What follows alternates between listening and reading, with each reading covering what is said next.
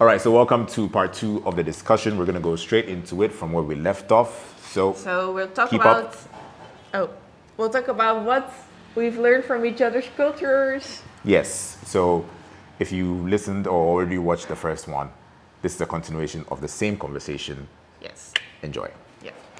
And we just to if you didn't watch, we made these cards and then we'll talk about the different elements of each other's cultures. That's how it works. So let's go. If there was the first one, they'll see. Okay.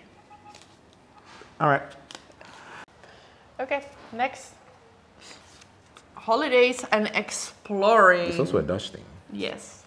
Yeah. Well, do you want to comment on that? Yeah, so I learned that um, structure doesn't always make things fun, but Dutch people have also been able to structure holidays and fun into their like Yeah. planning. So social activities are something that are taken very seriously. I used to fight with her a lot when we were starting like um, when we started talking because when Elaine goes out with her friends, when she says we're having a coffee, we're having a beer, we're going this, she turns her phone off. She's present because they know that when they're working, they're working, and when they decide to go and have a holiday or have fun or explore They tune something, out. they tune out and they are present and they enjoy it as much as like you know they have to. So there's no in between where you're on holiday but you can still answer some messages or some phone uh, phone calls or whatever it is. Yeah, it's mostly very well planned and they make sure that they enjoy everything because when they come back to work they're stuck in the workspace or in the work uh, frame of mind. And holidays and adventure is something that yeah, it's culturally been ingrained into yeah, definitely. yeah, been ingrained into their way of living. Um, here, holidays, ex- exploring, traveling is now building up. It's now becoming a thing. Um, that's because travel for us, again, we've said that in previous videos. Travel for us has always been a practical thing. We're For going, family. we're going here today to see family, and we're- Yeah. we're not going to travel Chill. for the sake of it Yeah. and just have fun somewhere else. So it's one thing I really appreciate about you know social activities and the importance of social activities in your you know lifestyle and schedule and making room for it actually like they, they make real room save for it plan for it and make sure they actually execute it and have fun Yeah. yeah Yeah, holidays are very important in Netherlands. yeah Like they're like holy, and they're always uh, yeah. It's something people really plan for and look forward to, and like some people even their life is like uh, you say spins around their holidays. You know that's how important the free time is. It's really um, yeah sacred in Netherlands. yeah Okay, next. Bread bread We've talked about it. bread my favorite bread bread that's it that's it You want to say something about it, or you? that's i'm done Yeah. So we eat a lot of bread. like bread for breakfast, bread for lunch even for dinner. Yes. You can eat bread. yeah bread, Bread, and soup bread, bread, everyday bread. That's our main meal.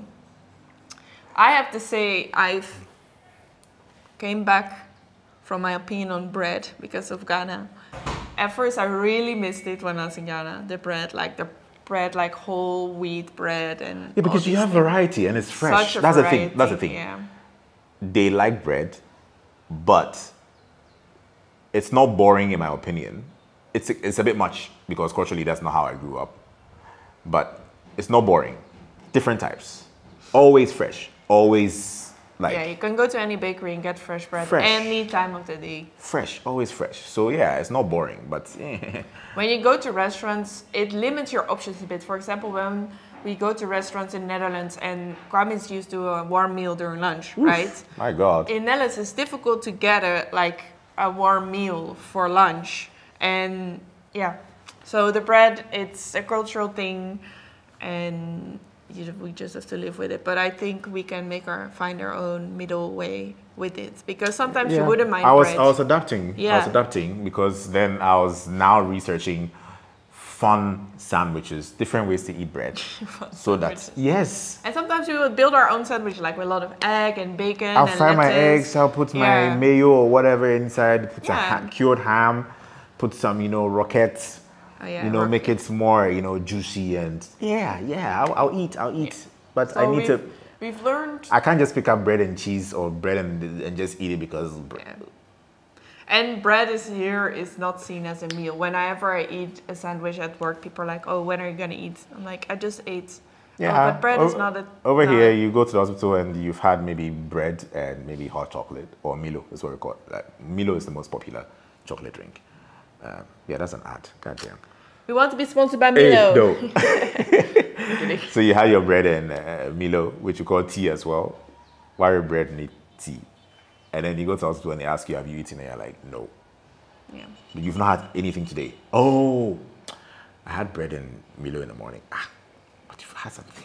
So we don't consider bread like a meal meal Yeah. on its own. Okay. Yeah. That's enough. This is yours. I know.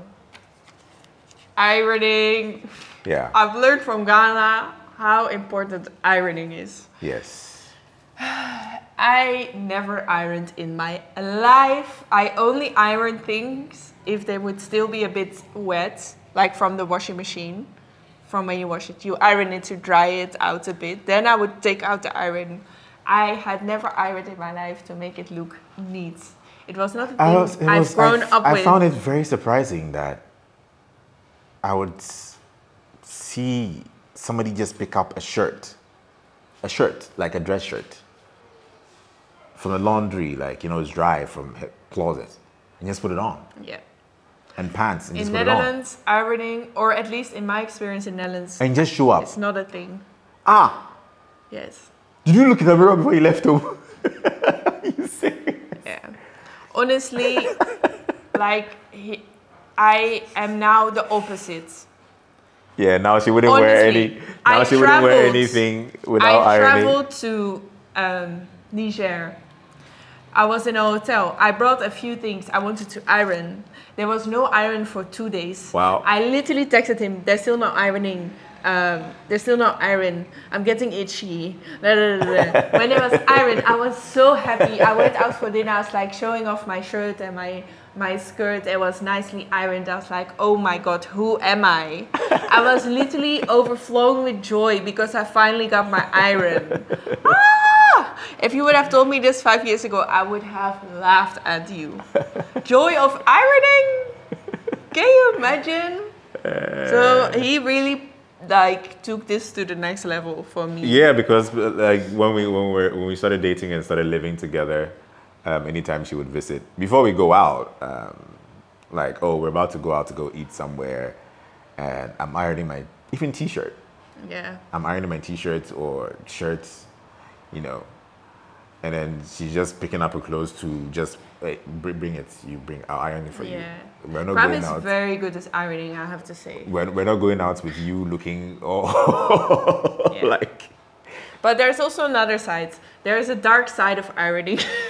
what is it? because now sometimes when I wear something, I get very anxious that I'm not sure if I should iron it or not, or if I ironed it well enough, and then I have to ask him Ah. like, "Is this okay, or should I when iron it comes again?" to flowy dresses yeah, um, so ironing also when you do learn ironing especially when we do from uh, from very early you know the kind of fabrics and how to iron them so linen cotton you know polyester and all those things polyester don't touch with heat because it's just gonna it melt. melt.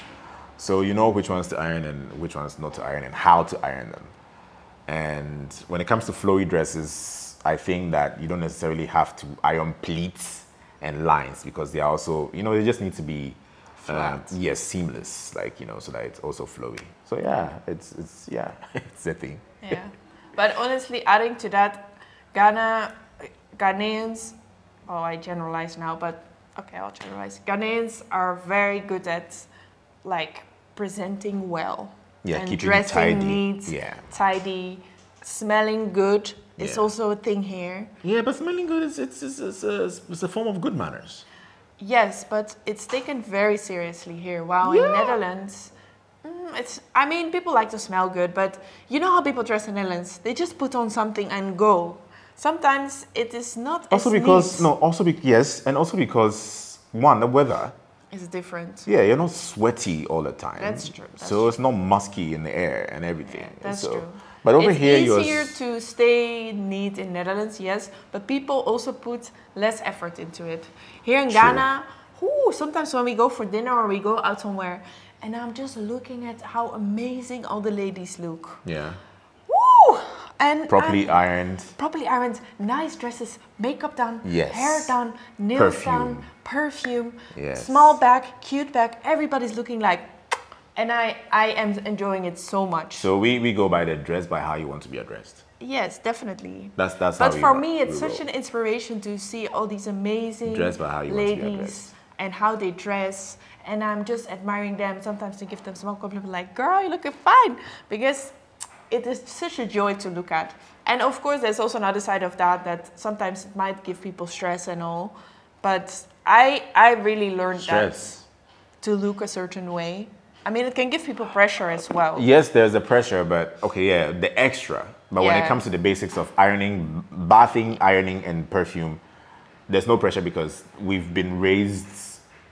So it's not difficult when you've been raised like that. Yeah. But for me, it also shows a bit of self care. It like how you go to the barber, like you make sure everything is neat. It is. It's a, it's a moment for yourself. You are taking care of yourself. You are worth it. So for me, I also see it as self care, which I think is great. Yeah. Yeah. Wow. Anyway. Ironing. Respect. You want to say something about it, or should I say something about it? You can say and I can say. So respect is a really it, it's connected to greetings as well. So it's respectful to greet somebody and acknowledge them. Respect is a big thing in Ghanaian society. Mm-hmm. You have to greet somebody. If somebody is elder, you need to make sure you approach them respectfully. Um, it's a thing, and there's a lot of hierarchy in Ghana as well. Um, I don't know why that is. I feel it's more Netherlands is more horizontal. Yeah. So even culturally, if you are culturally, we are. Um, I think we roll with bottom up. As Yeah. in, the youngest child is the one doing the most chores, yeah, and then there's respect, respect, And respect, even in, parents, and then um, grandparents. junior and senior high school, your seniors, there's this hierarchy. Yeah. And in Netherlands, even I remember from I had a training with a lot of different people from all over the world, and they were so amazed by how the Dutchies in the company would address the manager, like, "Hey, You just go by your first name. yeah, it- it- first name and here, no, no, no, Yeah, no, don't do no, that. don't do that." Don't go by your, your boss's first name. Ah, you don't respect. yes. Especially okay, especially also when they have like a, um, some qualification in terms of like a Doctor. doctorate or Yeah. you know something. You need to put it always. Please don't come and say Philip, just like Philip. Do you know how long it took me to get this doctorate? Yes. Who do you think you are? But also respect is also in a marriage sometimes like the role of the man or the traditional role of a man in the household and the traditional role of the wife in the household it has a certain respect kind of dynamic right? Yeah. maybe more less with our generation because yeah our generation is a step further Is- than is maybe your mom's generation. But uh, i remember that sometimes when i speak to kwame in public i mean i just speak to him like we have discussions also in public. It's not that i don't respect him but we ch- exchange thoughts. But I know it's not normal, for example, to have such discussions in public because it might look I don't respect you as a husband. I've because never- I'm I've- talking back. I've yeah, but I've never. Have you ever seen somebody react? It is subtle, Ah, okay. So I've never paid look- attention. you know? I've never paid attention to people looking and feeling like, ooh, she's talking or she's because Yes, I talk. I'm not looking there at all. So But there's how a lot do of you see that? there's a lot of respectability or respectable yeah respectability politics Yeah. yeah that we play and sometimes somebody's wrong, but you can't tell them they're wrong because you There- respect them. yes, you have to. Which is, is, is detrimental to our, our development, in my opinion.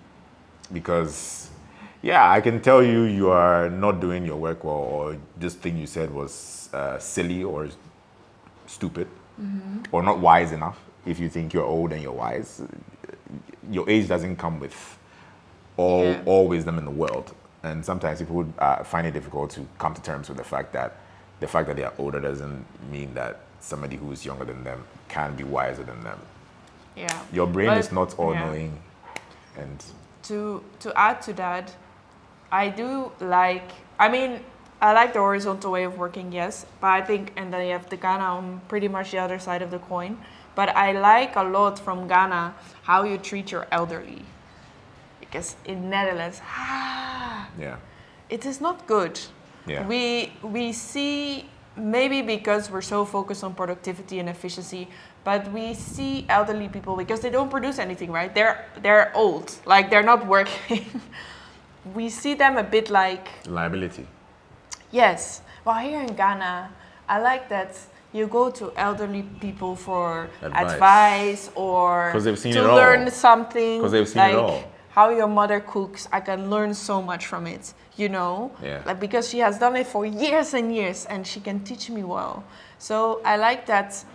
There, there's also certain respect, and I like that Yeah. because you honor more their experience and how they have already so, lived. So yeah, our, our respect um, when it comes to that in, in the social aspect is, is more of uh, life experience. Yeah, and you value that. Yes. While in Netherlands, it's like, nah, I can't speak for everybody, but I feel it is less respected in that way. Yeah. It is you're less part of society once you're past a certain age. While And unfortunately, that is also changing in Ghana. Yeah, Unfortunately, it's not extreme yet, but it's it's the the generation after us, or is it a Gen Z or something? I don't they know they, they, they do they, they they do less of their respectability politics Yeah. um, and life experience thing. Um, yeah. So, Yeah, but it's. I learned that from Ghanaian for example, culture. somebody would get up Oh yeah, and, yeah, and yeah. let uh, an elderly person have their seat in a car. I think in Netherlands people do that, but it's rare. Yeah. Yeah. So these small things. Anyway, um, it is me. It's a me. Checking in.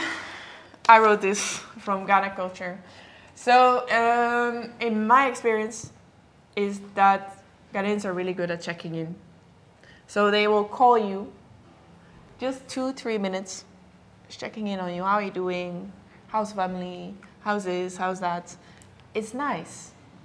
In Netherlands, at least when I call with my friends and family, it's often long. Yeah, but the, the average person won't check in on you.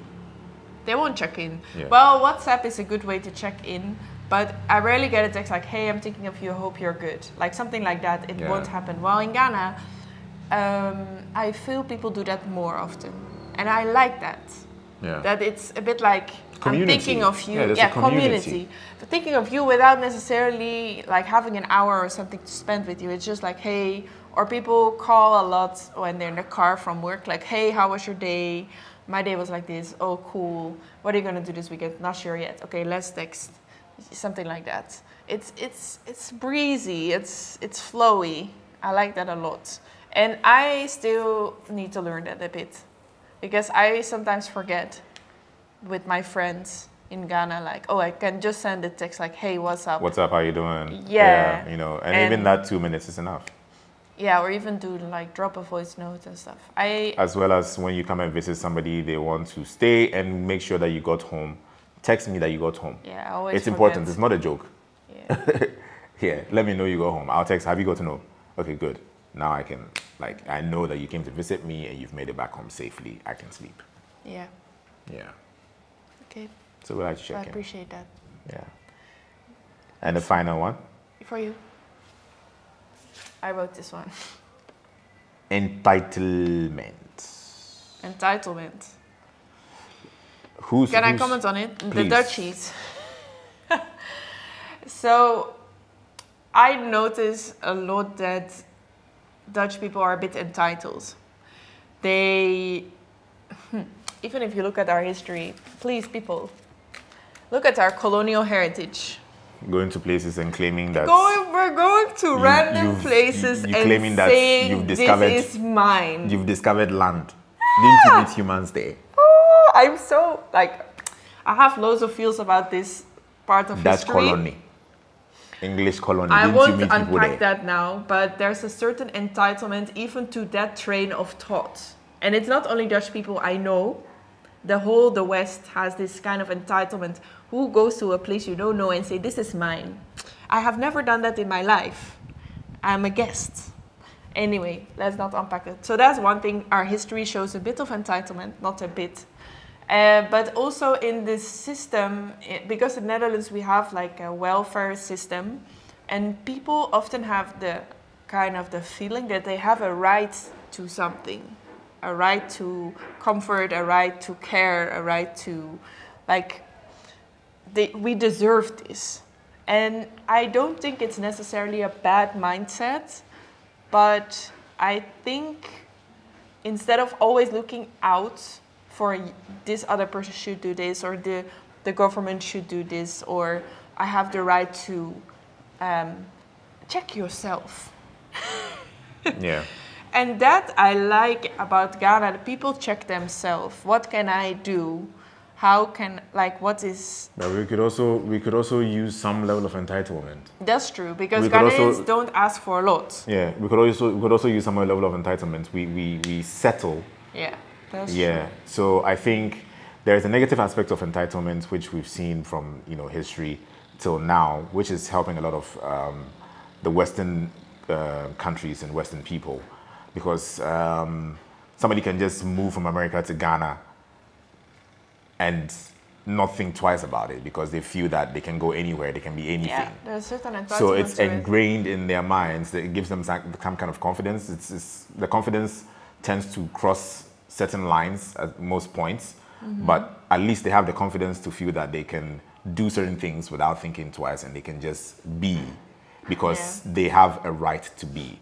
And I think it's something we can also learn from, especially with keeping, you know, um, governments and leadership and people who in charge of development accountable Yeah. because we do also deserve certain things Yes.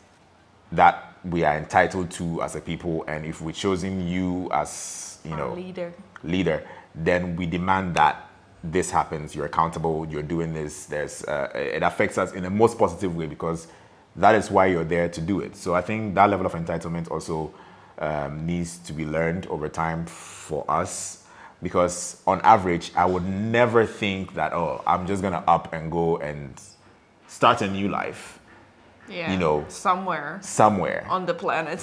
Like I'm just going to move from Ghana and start a new life because you go with a lot of caution mm. in that sense. You go with a lot of caution, but Europeans, Americans, people from the West will just Buy a ticket and go.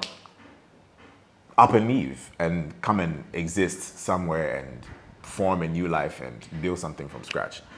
So yeah, entitlement has good and bad parts.